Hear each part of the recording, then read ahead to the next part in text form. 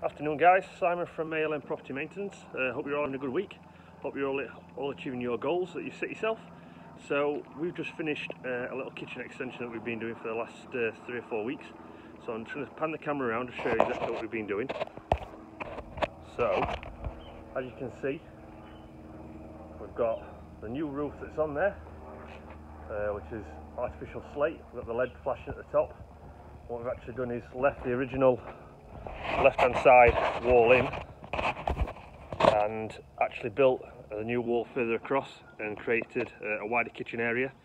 Uh, there will be some double doors going in there in a few weeks once the manufacturer gets them made for us. Um, we've got the patio at the side which you can see. And what we've also done is in installed a new window for them um, which is all set in. The render uh, which is going to be court wall is going around where the blue paint is so then we go inside.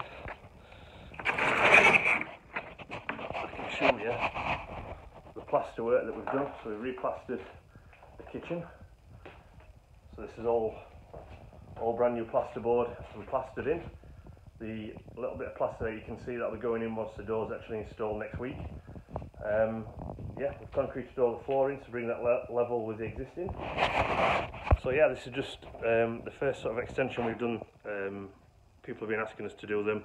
We've got a great team of uh, builders in that are actually working with us now, which allow us to actually give the customer the space that they needed using obviously the existing room where the conservatory was. So we're actually giving them space in the kitchen rather than them moving. We actually created the space for them, made it a nice working kitchen.